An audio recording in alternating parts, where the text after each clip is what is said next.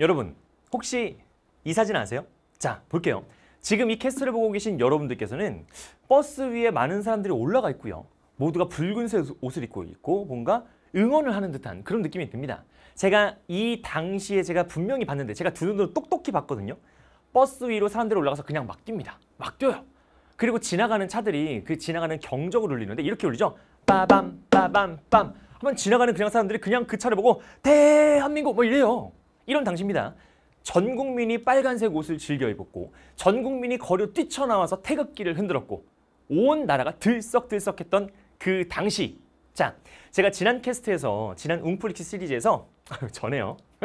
자 마지막 화에 손에 손잡고라고 하는 마지막 화에 제가 뭐라고 말씀드렸냐면 맨 마지막에 한국 대 내... 아 이걸 왜 보여줬을까? 잘 생각해 보세요. 우리는 원래 한국이란 말을 더 많이 썼습니다. 그런데 어느 순간 대한민국 자, 대한민국으로 바뀌었네 라고 하면서 제가 마무리했었죠. 그 나라 이름을 한국이라 부르던 그 대다수의 사람들이 이제 대한민국이라는 말을 훨씬, 훨씬 더 익숙하게 만들었던 그때 그 사건. 두둥! 웅플릭스 오리지널. 해줘야지. 아, 해줘야지. 왜 안 해줘? 다시. 짝짝, 짝짝, 짝. 대한민국. 자, 2002년 한일 월드컵입니다. 자, 2002년 한일 월드컵을 이번 시리즈로 정했는데 여러분 올해 2022년 11월 21일이 되면 수능이 끝나요. 축하드립니다. 수능이 끝나고 나서 11월 21일 날 여러분 뭐예요? 카타르 월드컵이 열려요. 자, 겨울에 열리는 최초의 월드컵인데 카타르에서 월드컵이 열립니다. 너무너무 부럽습니다, 여러분. 왜? 저는 2002년 이 월드컵, 20년 전에 있었던 월드컵, 지금이야, 지금. 5월부터 6월까지였거든요. 지금 6평을 보는, 보기 위한 지금, 지금 이 시점, 저는 고3이었습니다. 전 고3이었어요. 근데 여러분 지금 수능 끝나고 보는 거잖아. 얼마나 좋아. 자, 월드컵에 대한 이야기를 살짝 이제 덧붙일 건데 원래 월드컵은 1930년 우루과이에서부터 4년에 한 번씩 열리는 걸로 시작이 되었습니다. 이게 단일 종목 스포츠로 그리고 올림픽보다 어쩌면 더 큰 행사라고 볼 수 있는 그 월드컵, 그 월드컵에 대한 얘기를 볼 건데 궁금하잖아요. 왜 뭐가 궁금해? 아니 20년 전에 있었던 2002년 월드컵은 우리가 한국 월드컵이라고 안 하죠? 한일 월드컵이라고 합니다. 궁금하잖아. 왜 공동 개최했을까? 아니 제가 지난 시리즈에 올림픽을 얘기를 했는데 88 서울 올림픽도 나고야랑 경쟁에서 우리가 이겼잖아요. 한일전에서 우리가 이기고 어? 개최한 거 아니야. 그러면 월드컵도 우리가 이겼을 수 있었을 것 같은데 왜 공동 개최를 했을까? 그것도 왜 하필 사이가 안 좋은 일본이랑 공동 개최했을까? 궁금하죠? 궁금하다고 하세요. 그래야 제가 캐스트 하니까. 궁금하죠? 자, 그래서 준비했습니다. 첫 번째 이야기. 또 한일전. 지금부터 시작합니다. 자, 때는 1986년 멕시코 월드컵이었어요. 자, 멕시코 월드컵으로 거슬러 올라가 볼게요. 자, 멕시코 월드컵 때 우리나라가 본선 진출에 성공합니다. 아 대단하죠? 우리나라가 대단했는데 본선까지는 잘했는데 본선 가서는 아, 좀 아쉬웠어요. 그래서 아르헨티나한테 1대3으로 졌고요. 그리고 어, 불가리아죠. 불가리아한테 1대1로 비겼고 그리고 이탈리아한테 2대3으로 석패합니다. 근데 이때 우리가 정말 16강에 가기 위해서 정말 부단히 노력했고 되게 잘했어요. 경기 내용 되게 괜찮았는데 너무너무 아쉽게도 탈락했습니다. 보시면 여기 있는 불가리아 있죠? 불가리아가 2무 1패예요. 1승이 없이 본선에 나갔어. 1승도 없이 16강에 올라간 거야. 그러니까 우리도 1무 2패잖아요. 아, 여기서 한 골만 넣고 비겼으면 우리가 골득실로 올라갈 수 있는데 여기서 한 골 넣고 비기지를 못해서 떨어졌습니다. 아무튼 여기서 중요한 거는 우리나라 경, 우리나라의 경기 결과가 중요한 게 아니고요. 이 멕시코 월드컵이 끝나고 났을 때 이 끝나자마자 그 당시 이제 피파 회장입니다. 자, 피파 회장 이제 아벨란제라는 사람이 있어요. 좀, 좀 무섭게 생기셨는데 아벨란제라는 회장이 있는데 이 아벨란제가 뭐라고 하냐면 그 다음 월드컵이 되는 21세기 월드컵은 우리가 아시아에서 한번 해보고 싶습니다. 이렇게 얘기하는 거야. 21세기 첫 번째 월드컵은 아시아에서 개최하고 싶다라고 이렇게 회장이 직접 밝힙니다. 아니 그럼 생각을 해보세요. 어? 86년도에 아시아에서 하고 싶다? 그럼 86년도에 전 세계 지도를 쫙 펼쳐놓고 아시아를 좀 더 좁혀서 봐봐. 어떤 나라밖에 안 보여? 일본밖에 안 보이죠. 아니 엄청난 국제적인 행사를 치를 수 있는 돈과 실력과 그 당시에 뭐 인프라라든가 아니면 국제적인 인지도라든가 이런 거 보면 일본밖에 없는 거야. 그래서 아벨란제 회장이 아시아에서 하고 싶다라고 얘기하니까 일본이 아, 아, 소데스까. 우리 아시아면 일본 데스네. 라면서 준비를 하죠. 그래서 일본이 월드컵 개최 준비를 시작합니다. 1989년 월드컵 개최를 공식적으로 발표를 하고요. 1990년 월드컵 유치위원회를 발족시키면서 이제 착착착착 준비하는 거야. 아니 근데 일본이 89년도에 개최를 공식적으로 입장을 발표했는데 이것보다 1년 전에 우리나라 뭐 했어? 88 올림픽 굉장히 성공적으로 개최했잖아. 이거 성공적으로 개최했는지 아닌지 궁금하잖아요. 저기 앞에 가서 김종욱이라는 사람이 있어요. 김종욱이라는 사람이 캐스트 같은 거 막 찍어놨거든. 그 웅플릭스 올림픽 캐스트 있으니까 가서 보고 오세요. 아무튼 개최했잖아. 어? 그때도 일본을 물리치고 우리가 개최를 했는데 일본이 한다고 하니까 아니 우리도 있다. 아니 아시아에 왜 일본밖에 없느냐? 우리 대한민국도 있지 않느냐? 우리가 공식적으로 월드컵 개최 공식 입장을 발표합니다. 90년이죠. 자 그리고 나서 이제 93년 그 당시 이제 김영삼 대통령이 당선이 됐는데 김영삼 대통령이 그 공약으로 내건 게 뭐냐면 월드컵을 성공적으로 유치하겠다. 이게 공약이었어요. 게다가 93년 그 당시에 제가 쓰진 않았지만 제가 대전 사람이잖아요. 대전에서 오, 어, 엑스포죠. 세계 박- 박람회. 그래서 엑스포가 굉장히 성공적으로 개최가 잘 됩니다. 그래서 대전이 막 과학 도시에서 막 한비탑 나오고 꿈돌이 나오고 막 이랬거든. 굉장히 성공적으로 개최를 했단 말이죠. 그리고 나서 이제 정부가 출범하고 직후에 월드컵 유치위원회가 94년에 발족하게 됩니다. 또다시 한일전이에요. 88 서울 올림픽도 한일전이었고 여기도 한일전이네. 아시아에서 최초로 하는 그 오- 월드컵을 한국과 일본이 어떻게 할 것이냐 서로 또 경쟁이 들어갑니다. 근데 그 당시에 어, 아시아 축구협회죠. 아시아 축구협회에서 한국을 지지합니다. 일본보다 한국을 지지하고 있었다고. 그래서 뭔가 아 뒤늦게 출발하긴 했지만 뭔가 또 일본이랑 경쟁 구도가 좀 치열하게 잡아가는구나. 이런 모습이었거든요. 근데 여기서 조금 생각해봐야 되는 거는 요 일본 편에 누가 아벨란제 회장이 여기 붙는 거예요. 피파 회장이 아까 뭐라 그랬어? 86년 멕시코 월드컵 끝나자마자 어, 21세기 첫 번째 월드컵은 아시아에서 하고 싶습니다. 그 누굴 염, 어떤 나라 염두에 두고 얘기한 거야? 일본이야. 일본을 염두에 두고 그냥 대놓고 난 일본에서 월드컵 하고 싶어 이럴 수 없잖아. 그러니까 아시아에서 하고 싶다. 아시아 일본밖에 없으니까. 근데 왜 아벨란제는 일본을 지지했을까? 라고 하는데 이제 뭐 잼머니라고 하는 것도 있고요. 뭐 사람들이 그런 얘기하죠. 뒤에서 이제 이루어지는 그런 로비 활동들 그런 것도 있겠지만 일단 국적이 브라질입니다. 브라질과 일본 관계 좀 이따 얘기하고요. 자, 그 당시 피파 회장 아벨란제가 일본을 지지하고 나서니 이 아벨란제 뒤를 이어서 차기 피파 회장을 노리고 있던 그 당시 유럽 축구협 회장, 유에파 회장 요한손이 한국을 지지합니다. 자, 보세요. 분명히 한국과 일본의 개최지 선정을 놓고 이제 경쟁하는 거잖아. 그죠? 근데 거기서 피파 내부에서 이 전 세계 축구계 안에서 또다시 권력 투쟁이 벌어지는 거야. 아벨란제 세력과 요한손 세력. 기존의 기득권 세력과 몰아내고 새롭게 회장이 되고 싶었던 요한손 세력. 이렇게 바뀌는 겁니다. 자, 그래서 브라질 출신이었던 저 아벨란제가 왜 일본을 좋아할 수밖에 없었는가? 그 이야기를 좀 역사적인 이야기로 좀 끌어가 보면은 1888년 브라질에서 노예제도가 폐지가 돼요. 음.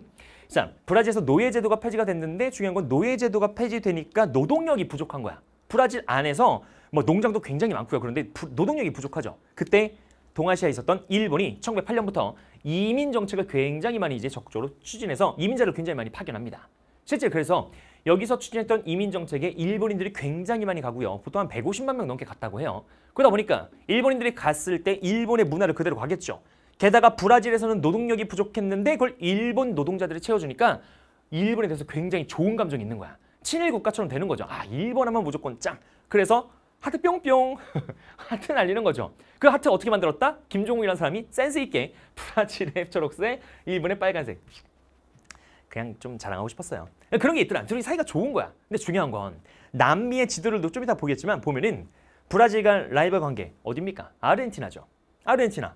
어 브라질과 라이벌 관계인 아르헨티나가 가만 보니까 일본을 밀어준다고? 그럼 난 그럼 한국 밀어줄래? 어? 우리 그냥 아르헨티나가 우리 밀어줘. 어 분명히 우리랑 한- 우리랑 일본이 경쟁을 하는데 아까 봤죠? 피파 내부에서도 파벌이 갈렸고 남아메리카 남미에서 브라질과 아르헨티나를 대장으로 하는 그런 또 파벌이 생기는 거예요. 이게 뭐 소리 없는 전쟁이 시작됩니다. 이거를 조금만 더 자세히 볼게요. 자, 남아메리카예요. 남미입니다. 남미, 남아메리카, 브라질, 아르헨티나, 이 우루과이 여기 있어요. 우루과이, 우루과이. 다음 파라과이, 이 사이, 이 사이 파라과이, 볼리비아, 페루, 칠레, 칠레 이렇게 생겼죠.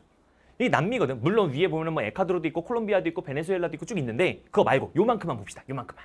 자, 이 지도에서 볼 때 브라질. 요 브라질 빼고 나머지 이 왼쪽 전부 다 에스파냐 식민지였어요. 우리 세계사 하시는 분들 알고 계시죠? 응? 세계사 하세요. 아무튼 세계사에서 에스파냐 지배를 받았거든. 브라질은 포르투갈 지배를 받습니다.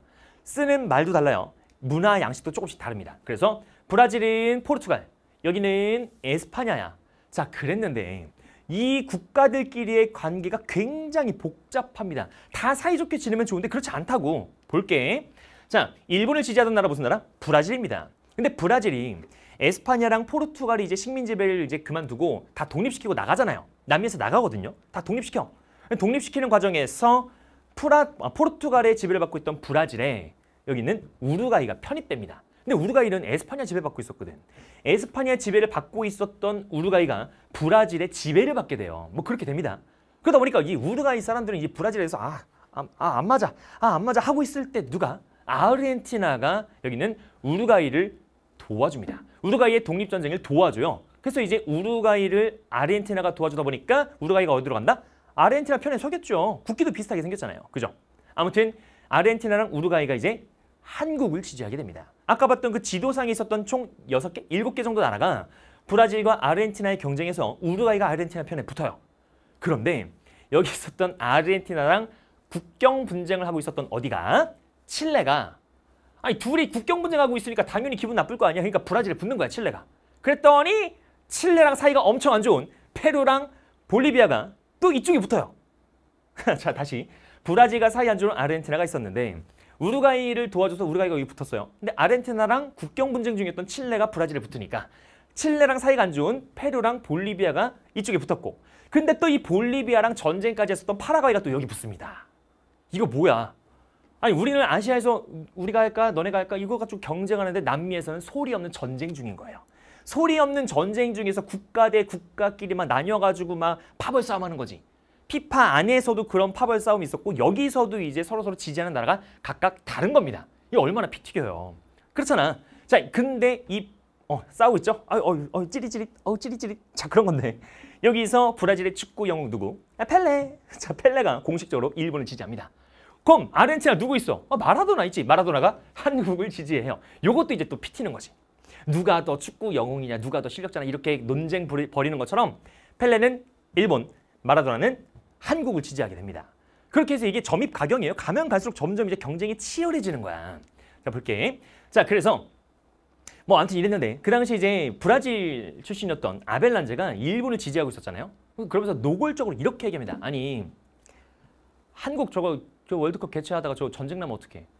전쟁이 날, 아, 또 북한. 전쟁이 날 수 있는 나라라고 이렇게 얘기를 합니다. 갑자기 여기 들어지도 않던 북한이, 어? 나? 어, 왜? 아니, 북한이 갑자기 튀어나왔잖아. 전쟁을 할 수 있지 않느냐. 막 이런 얘기까지 하면서 진짜 막 점입 가경이었어. 그죠? 자, 그러다가, 그러다가, 어, 이 사, 이 뭐라고 해? 이 경쟁의 구도에서 시소가 조금씩 기울게 되는 그런 중요한 사건이 되는 포인트들이 있거든요. 볼게요. 93년입니다. 1993년 10월 달에 완전히 판세를 바꾸는 큰 사건이 벌어지니 94년 미국 월드컵 아시아 지역 최종 예선입니다. 우리가 94년 미국 월드컵을 하려면 아시아 지역에서 이제 예선전을 하잖아요. 이 두 개 나라를 이제 올라갈 수 있는 두 개가 시드가 두 개였는데 아시아 지역 최종 예선에서 이런 일이 벌어집니다. 도하의 기적 들어보셨어요? 이 도하가 어디냐면 카타르에 있습니다. 어? 맞아요. 올해 말에 있는 그 카타르 월드컵 있잖아. 그 카타르 도하에서 우리가 도하의 기적을 만들어냅니다. 우리 입장에서야 도하의 기적이지만 누군가에게는 어떤 특정 국가에게는 도하의 비극이라고 기억되는 그 날 보러 갈게요. 자, 아시아 지역 최종 예선이 각각 여섯 개 팀 중에서 그 조별리그 여섯 개 팀 중에서 다들 한 경기씩만 남겨놓은 상황이야. 여기 봐봐. 전부 다 보면은 뭐 일본이 1등이에요. 그 당시에. 뭐 승점 5점인데 전부 다뭐 2승 1무 1패니까 총 4경기, 4경기, 4경기 다 4경기씩만 한 거야. 그죠? 다 4경기씩만. 아니 나라가 6개니까 우리나라 빼면 5경기 해야 되는데 한 경기씩 남겨놨어요. 한 경기씩. 근데 그때를 보니까 승점이 5점, 5점, 4점, 4점, 4점. 이게 굉장히 피말리, 피말렸던 때인데 잘 보시면은 2위까지 올라가거든요. 본선에 2위까지 올라가요. 근데 그 당시에는 승점을 3점을 안 줬고 2점으로 줬어. 무승부가 1점이야. 2승 1무니까 2 곱하기 2에서 4점이랑 1점에서 5점. 2점, 3, 4, 5, 5점. 2점, 3, 4. 제 수학이 좀 약해요. 뭐 그렇게 보시면 돼요. 이런 과정에서 이제 각각 마지막 경기가 이렇게 열립니다. 어떻게요? 한국 대 북한, 일본 대 이라크, 사우디 대 이란이 붙어요. 자, 그런데 중요한 거는 각각의 경기 결과에 따라서 아까 봤던 본선 진출팀이 바뀔 거 아니야. 승점이 2점이라니까? 어떤 나라가 이기는지에 따라서 일본이 떨어질 수도 있고요. 이라크 뭐 밑에 있는 뭐 한국이 올라갈 수도 있고 이라크가 올라갈 수도 있는 겁니다. 모르는 거잖아. 그래서 이 마지막 경기를 승부 조작을 할 수도 있고 우리가 이제 안전하게 이겼으니까 다음 경기인 너네 있잖아. 우리가 좀, 좀 설렁설렁 해줄게. 약간 이런 걸 할 수 있기 때문에 승부적인 것을 좀 건드릴 수 있기 때문에 요 세 경기가 동시에 같은 시각에 킥오프를 합니다. 시작했어요. 그러니까 전반전 시작 똑같은 시간에 하고요. 그리고 이제 추가 시간 뭐 이런 거 있을 거 아닙니까? 그죠? 추가 시간 끝나고서 후반전도 똑같이 시작합니다. 왜? 승부 조작을 방지하기 위해서. 그래서 똑같은 시각에 똑같은 어, 뭐 킥오프를 했다 이렇게 보시면 돼요. 자 그래서 중요한 거는 사우디랑 이란이야 그렇다 치고 지금 제일 중요한 거는 한국과 일본이니까 요 두 나라 한번 보겠습니다. 두 나라. 자 근데 어, 이 두 나라가 제일 중요한데 우리나라. 우리나라 입장에서 볼 때는 이게 진짜 할 때마다 이게 참 왜 이렇게까지 해야 되는지 모르겠지만 월드컵을 볼 때 항상 경우의 수라고 하는 걸 생각을 해요. 김종웅이라는 사람이 고등학교 1학년 때 이후에 수학이라는 거를 포기하면서 경우의 수라는 걸 전혀 모르는데 축구 경우의 수는 제가 따질 줄 압니다. 볼게요. 이 당시 이 승점표를 보면은 우리나라가 본선에 나갈 수 있는 경우의 수는 이렇게 돼 있습니다. 우리가 북한을 최소한 두 골 차 이상으로 이겨야 돼. 왜? 골득실도 따지니까. 골득실을 따지면은 아 우리가 최소한 두 골 이상으로 이겨야 된다. 그리고 이것만 달성하는 게 아니고 두 번째 조건 뭐야? 일본이 이라크랑 비기거나 일본이 져야 돼요. 일본이 져야 돼. 그러니까 비나이다, 비나이다 해야 되는 거지. 일본 져라, 일본 져라 해야 되는 거예요. 그 당시에는. 그래서 우리가 두 골차 이상으로 승리하거나 일본이 이라크랑 비기거나 또는 져야 됩니다. 그러면 우리가 본선에 올라가요. 동시에 경기 시작했다 그랬잖아요. 서로 서로 경기 결과 몰라. 자, 근데 경기가 막상 시작이 됐습니다. 우리랑 북한이 붙었습니다. 결과 어떻게 됐을까? 우리가 이겼어요. 북한인데요. 3대 0 해서 고정은 황선홍, 하석주 선수가 이제 차례로 골을 넣으면서 우리가 이겼습니다. 뭐 이 경기야 우리가 이길 거라 생각은 했어. 이 두 골 차 이상이니까 세 골 넣고 나서 이제 이겼으니까 결과만 보면 돼. 무슨 결과? 일본과 이라크 결과만. 요것만 보면 되는 거야. 근데 중요한 거는 후반전 시작 똑같이 킥오프 했잖아. 끝나는 시간이 거의 비슷할 수밖에 없잖아요. 이렇게 경기가 끝나고 났을 때 우리 그 제가 이 영상을 못 갖고 오는데 영상 찾아보세요. 너튜브에 널렸습니다. 가서 보시면 도하의 기적 침 나오는데 여기서 우리나라 선수들이 경기 끝나고 처음에 이러고 있다가 코칭 스태프가 방방 뛰기 시작하니까 거기서 막팍 뜨는 거야. 왜 그랬을까? 결과 볼게. 시간을 잘 보세요. 시간을 잘 보세요. 일본 경기 시작하자마자 미우라라는 선수가 있어요. 90년대 일본 축구 스타입니다. 이 미우라는 골 넣으면은 막 이렇게 춤췄던 사람이 있어요. 막 춤추는 사람이 있습니다. 이 미우라가 골을 넣었어요. 5분 만에. 아, 일본이 이기나? 근데 또 기특하게도 후반전에 라디 세나이셀이라고 하는 이라크 선수가 골을 넣습니다. 아, 1대1. 아, 좀만 더, 좀만 더. 근데 일본이 경기 끝 10분 전에 90분에 끝나니까 경기 끝 10분 전에 경기 종료 10분 전에 나카야마가 골을 넣습니다. 2대1 이렇게 경기는 끝나는 줄 알았어요. 그런데 경기는 끝까지 봐야 됩니다. 잘 봐. 이 잘 봐. 이거 확대하고 싶은데 확대 못했어. 잘 봐. 90분 플러스 1, 플러스 1, 플러스 1. 이거 뭐야? 추가 시간이야. 추가 시간에 음란 자파를 한 사람이 골을 넣습니다. 그래서 2대2로 비겨요. 진짜 기적같이 추가 시간에 음란, 자, 음란 자파르가 골을 넣고요. 이거 골 넣고 나서 바로 경기, 경기 끝납니다. 경기 끝났어. 경기 종료 10초 전에 넣은 거야. 진짜 10초 전에 넣었습니다. 여기서 요 결과가 나타나니까 우리나라 사람들 막, 막 뛰고 막 부둥켜하고 난리 났죠. 난리 났는데 일본 뭐 했어? 좌절했죠. 정말 이걸 도하의 기적이라고 합니다. 도하의 기적. 그 카타르 도하에서 있었던 이 아시아 최종 예선에서 우리가 미국 월드컵에 진출한 거야. 본선에 진출한 거죠. 저 그 당시에 생중계를 봤습니다. 저 축구 되게 좋아했어요. 진짜로 새벽같이 보고 막 그랬어. 저 초등학교 4학년 때인가? 뭐 그, 3학년 때인가? 뭐 그럴 때예요. 아무튼 우리나라는 이제 올라갔고요. 일본이 졌습니다. 우리나라 막 언론사 난리가 났죠. 극적 반전. 막 93년. 막 기적의 드라마, 뭐 세각으로 본선 데뷔해야겠다, 데뷔해야겠다. 이라크 천금의 동점골로 한국이 일본과 희비 교차. 뭐 이렇게 됐어요. 마지막 생경기 숨막힌 레이스 뭐 나오고요. 막 난리가 났죠. 자, 여기도 일본 초상집에서 희비가는 운명이 20초. 아 정말로 골 넣고 나서 끝났다니까? 어, 일본 진짜 초상집이었어요. 왜냐면 그 당시 일본이 전력이 굉장히 우수했어. 걔네가 80년대 고도 성장기를 맞고 90년대 되면서 일본이 축구에 대한 투자를 많이 해가지고 그 90년대랑 2000년대 초반까지만 해도 일본이 우리보다 훨씬 더 뭔가 세련됐고 훨씬 더 선진 축구를 한다는 그런 이미지가 있었습니다. 그땐 그랬어요. 제가 어릴 때 축구를 보면은 우리나라는 그냥 뻥축구 같은 느낌이었고 일본은 촥촥촥촥 이런 느낌이었거든. 근데 일본이 진 거야. 떨어진 겁니다. 이 도하의 기적입니다. 도하의 기적. 자 중요한 건 이렇게 해서 자, 일본은 초상집, 한국은 잔치집. 아 초상집과 잔치집 이렇게 이제 기사 제목을 써놨죠. 자 이런 건데 자 우리나라가 이제 이렇게 얘기하죠. 아 우리는 3회 연속 본선 진출했다. 지금까지 총 4번이나 본선을 진출했다. 너네 뭐 했어? 일본이? 아노 얘네 못 나갔잖아. 본선에 한 번도 못 나갔거든. 자 이렇게 되는 과정에서 94년입니다. 자, 그 당시에 이제 국제축구협회 그 피파에서 부회장 선거를 해요. 근데 당시에 누가 어, 현대그룹의 그 정주영 회장의 육남인가 그럴걸요? 정몽준 그 당시 대한축구협 회장이 부회장에 당선이 됩니다. 뭔가 되려고 했나 봐. 당선이 됐어요. 명칭 바꿔야지. 요거 이제 바꿔야지. 뭐라고? 피파 부회장. 아, 피파 부회장이었어요. 우리나라 이제 피파 부회장이었던 정몽준 이제 부회장께서 이렇게 얘기하죠. 그 우리가 이제 도하의 기적을 겪었잖아. 3회 연속 본선 진출했잖아. 이렇게 얘기합니다. 아니 그 본선 진출도 못하는 나라가 무슨 월드컵을 개최해요? 어? 아니 자력으로 월드컵에 진출 한 번도 못한 나라가 어떻게 월드컵 개최를 하느냐? 그런 사례는 없다. 봐라 그런 역사가 없지 않느냐? 생각보다 여기 잘 먹힙니다. 아 그럴싸하잖아. 왜? 제3국 우리 한국과 일본은 감정이 그러거라 하니까 우리 빼고 팔짱 끼고 저기 멀리서 보는 유럽 국가나 다른 나라들은 아 그래 아, 한국은 축구에 관심이 많구나. 한국은 축구에 인프라 투자나 이런 거 많이 하는구나. 어, 일본은 뭐 그런 게 없나 본데? 이렇게 볼 수 있잖아. 관심이 없으면. 이게 생각보다 잘 먹힙니다. 그래서 그 도하의 기적을 기점으로 우리한테 이제 무게추가 점점 움직이는 거야. 시소가 이제 한국으로 가는 거죠. 원래 아벨란제가 생각했을 때는 일본 하겠지라고 했는데 어느 순간 갑자기 추가 한국 쪽으로 가기 시작합니다. 아 뭔가 느낌이 좋죠. 자 이렇게 하고 있던 그 당시에 이제 마라도나라는 선수 있죠. 이 마라도나인데 그 당시 이제 정말 세계 최고의 선수입니다. 근데 마라도나가 아까 우리가 예선을 했었던 94년 미국 월드컵 있죠? 거기서 약물 복용 논란이 좀 있었어요. 그래서 월드컵에서 약물 복용으로 출장 정지가 내려졌거든. 근데 출장 정지가 내려서 아무 이제 경기를 못 나가다가 그 징계가 끝나고 나서 있었던 첫 번째 공식 행사가 95년 9월 달이었어. 무슨 행사였게? 서울로 옵니다. 마라도나가 우리나라 서울에 와서 경기를 했어요, 얘들아. 마라도나가 서울로 옵니다. 왜? 한국을 홍보하기 위해서. 진짜입니다. 한국을 홍보하기 위해서 마라도나가 한국에 와서 우리나라 김영삼 대통령과 기념사진 찍었어요. 보시면은 뭐 김병지 선수부터 황명보, 황선홍 뭐 이렇게 뭐 쭉 있는데 고종훈도 있고요. 왜 김영삼 대통령이 사진 찍죠? 이거 봐. 보여주는 거예요. 그러니까 마라도나가 적극적으로 한국을 지지하고 나섰다. 이런 이벤트성 모습들, 이런 것들 보면서 점점 이제 무게추가 한국한테 가죠. 근데 또 있습니다. 또, 또, 또, 또, 또. 이것도 얘기 안 할 수가 없어. 봐봐. 96년. 제가 어릴 때 얘기라서 굉장히 신나게 얘기하는데.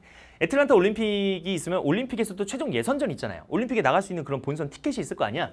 최종 예선, 예선 결승전입니다. 그 당시 피파 고위 관계자들이 자 그럼 월드컵 개최지를 한국에 해줄까 일본에 해줄까 이걸 가지고 되게 경쟁하는 중이니까 관심 있게 보고 있었다고. 그 자리에 다 왔어요. 피파 고위 관계자들이 보고 있었거든. 근데 시종일관 이 경기 유튜브에 있습니다. 저 이거 준비하면서 봤거든요. 그 하이라이트 있어. 봤는데 우리가 압도합니다 어떻게 2대 1로 우리가 승리했어요 근데 승리했는데 이거 왜 갖고 왔냐면 보세요 우리가 이겼거든요 우리가 이겼는데 후반 34분에 한 골 넣었더니 일본이 35분에 넣고 우리가 37분에 넣은 거야. 아니 경기를 넣었더니 넣고 넣었어. 이 뭐야? 완전 정말 피말리는 접전이었습니다. 피파의 고위 관계자들이 보고 있다. 단순하게 아시아 지역 최종 예선이라는 의미 플러스 개최지 결정권을 놓고 여기서 이제 다툼이 벌어진 거지. 여기서 이제 그런 게막 엄청난 명예의식 뭐 이런 것도 있는 거예요. 정말 치열한 경기였습니다. 나중에 한번 보세요. 치열한 경기였다. 우리가 승리해냈다. 우리가 이겼습니다. 완전히 무게추는 한국한테 넘어갑니다. 자, 근데 이 넘어가는 과정에서 보면은 우리 입장에서야 아, 우리한테 무게차가 왔네? 근데 피파 회장이 회장의 권한이 굉장히 센데 피파 회장이 지금 누구 지지하고 있어? 일본 지지하고 있잖아. 그렇죠? 게다가 유에파 회장이었던 요한성 같은 경우는 지금 피파에서 아예 그 회장은 아니에요. 관, 그 직함이랑 이런 게 좀 회장보다 밀리니까 아 이렇게 회장이 밀고 있는 일본 분위기가 넘어간 한국 둘이 서로 경쟁하는데 피파 내부의 정치적인 논란 플러스 뒤에서 활동하는 로비스트의 활동들 또한 남아메리카에서 있었던 그, 남아메리카에서 있었던 그런 국가 간의 경쟁들 너무 치열하잖아. 그래서 아시아 축구 협회에 아시아 축구 연맹의 사무총장이라고 피터 벨라판이라는 사람이 있었대요. 그렇대요. 자, 아시아 축구 연맹 사무총장 피터 벨라판이 이렇게 얘기합니다. 95년에 이렇게 얘기를 하는데 아니 그러면 어, 아니 지나친 경쟁으로 인해서 너무너무 출혈이 너무 심하지 않느냐. 우리 그러면 공동 개최하는 게 어때라고 이제 이렇게 제안을 합니다. 공동 개최라고 이제 아시아 축구연맹에서 이제 제안을 한 거예요. 왜냐면 한국과 일본이 경쟁을 하는 게 생각보다 굉장히 치열했고 이게 우리 두 나라만 하는 게 아니고 다른 나라들이 다 엮여 있으니까 너무 판이 커진 거야. 그러다 보니까 여기서 중재를 하려고 공동 개최를 얘기를 했는데 일본 입장에서는 무슨 생각이 있을까? 일본은 생각하죠. 어, 이렇게 하다가 한국한테 월, 올림픽처럼 뺏기는 거 아니야? 아, 뺏길 바에는 그럼 공동 개최라도 하는 게 낫겠다 이런 생각했고 우리나라 입장에서는 아 우리는 일본보다 준비는 좀 늦었고 분위기는 확 왔는데 회장이 일본을 밀어주고 있으니까 본선 결 그 뭐야 결선 투표 갔을 때 이게 또 바뀔 수도 있는 거잖아요. 회장의 힘이 워낙 세니까 아 그러면 공동 개최도 되지 않을까? 그래서 공동 개최에 대해서 한국과 일본 둘 다 어느 정도 수긍을 합니다. 그리고 나서 96년 5월 31일 스위스 취리에서 열렸던 이제 피파 그 회의가 있었겠죠. 거기서 한국과 일본의 공동 개최가 발표가 됩니다. 여기서 이제 공동 개최가 정해진 거예요. 그래서 이제 엄청나게 많은 일들이 있다가 여기서 공동 개최를 하겠다 했어요. 자, 우리나라 이제 언론사 볼까요? 한일 모두가 승자다라고 하면서 뭐 집회위원회 만장일치로 세부 절차는 12월까지 마련하겠다. 월드컵 공동 개최 이렇게 딱 나왔죠. 나왔습니다. 자, 한국 막판 뒤집게 일본이 이제 100기를 들었다. 이렇게 이제 평가를 하고 있는데 보면은 뭐 아쉬운 결과지만 최선을 다했다 하면서 흐뭇해하고 있고요. 그죠? 자, 한일 마음의 벽을 허물 수 있는 계기가 되지 않을까. 뭐 이런 식으로 좀 뭔가 그 이제 상황을 보고 있는 거야. 마찬가지지. 제가 전에 있었던 어떤 올림픽 캐스트 혹시 아, 보고 오시라고요. 응플릭스 첫 번째 시리즈였던 올림픽에서도 얘기했죠. 우리가 나고야를 이겼습니다. 막 신문에서 얘기했잖아. 똑같아. 현재 이제 뭔가 우리도 올림픽을 아, 월드컵을 개최하는구나. 공동 개최지만 우리도 월드컵을 개최하는구나. 굉장히 좋았는데 문제는 뭐였다? 여기 앞에 보시면은 세부 절차는 12월까지 마련하겠다라고 해서 자 공동 개최하세요. 중요한 건 공동 개최라면은 이런 게 문제인 거잖아. 뭐 개막식 어디서 할래? 결승전은 어디서 할래? 사람들이 가장 관심 있게 보는 개막식과 가장 하이라이트라고 하는 그 결승전 어디서 할까? 요것 때문에 이제 서로 서로 일본과 한국, 한국과 일본의 입장차가 이제 드러나기 시작하겠죠. 조율을 해야 되는 거야. 너 이거 해? 그럼 난 이거 할게. 서로 이제 조절을 해야 될 거 아닙니까? 자, 그런 과정에서 일본이 이렇게 먼저 제안합니다. 나는 우리 월드컵의 꽃 결승전은 우리 일본이 하겠습니다. 월드컵의 꽃이죠. 월드컵 결승전은 정말 누구나 다 관심 있게 보는 거잖아. 이게 뭐 결과가 나와서 뭐 미리 스포해서 미안합니다만 결승전은 독일과 브라질이었어요. 아니 생각해봐 얘들아 결승전이 아니어도 독일과 브라질이 여러분들이 친선 경기 한다고 해. A매치 한다고 합니다. 관심 있잖아요. 막 네로라는 총 스타들 다 총출동한대 모든 스타들이. 그럼 볼 거잖아 결승전. 우리가 하겠다. 그때 우리나라 뭐라 그랬게? 콜 해! 대신에 명칭을 한일 월드컵을 하자. 이렇게 이야기합니다 한국을 먼저 넣자는 거야 이 이름을 한국을 먼저 넣느냐 일본을 먼저 넣느냐 별거 아닌 것 같은데 이 어감 차이가 굉장히 크거든요 한일 월드컵이야 일한 월드컵이야 우리는 한국이니까 한국을 먼저 쓰는 거냐고요 아니요 정식 명칭이 이렇게 된 겁니다. 이런 과정을 통해서. 근데 중요한 건 이렇게 서로 합의를 봤거든. 합의 와서 우리 그러면 2002년 한국과 일본 월드컵으로 순서 정합시다. 우리는 합의를 봤어. 근데 중요한 건 피파에서 이 사람 아벨란제가 일본 쪽이 일본 쪽 사람이라고 했죠. 아벨란제가 얘기합니다. 아니 이거 그 알파벳 순서로 따지면은 J가 K보다 앞이니까 재팬이 먼저 아니야? 이렇게 얘기하는 거죠. 그래서 2002 재팬 코리아 월드컵으로 가야 되는 거 아니냐라고 피파에서 이렇게 얘기를 하니까 그 당시에 우리의 어, 피파 부회장이었죠. 피파 부회장. 아? 피파 부회장. 정몽준 부회장이 뭐라고 하셨냐면 이게 잘 보세요. 되게 자, 잘 들어야 돼. 잘 들어야 돼. 내가 무슨 말 하는지 봐봐. 피파라고 하는 건 얘들아 우리가 그냥 피파 피파 하니까 피파인 줄 알지만 여기 있는 피파는요. 영어가 아니에요. 혹시 알고 계셨어요? 영어 아닙니다. 이렇게 얘기하는 거야. 자, 프랑스어 선생님 도와주세요. 뭐 이렇게 얘기했겠죠. 뭐 그렇다고 합시다. 불어입니다. 불어. 프랑스어예요. 프랑스어로 아니 그래서 이렇게 얘기하는 거 아니 피파라고 하는 것도 영어가 아니고 프랑스어에서 피파라고 하는 명칭을 쓰고 있는데 자 그렇다면 한국을 프랑스어로 뭐라고 합니까?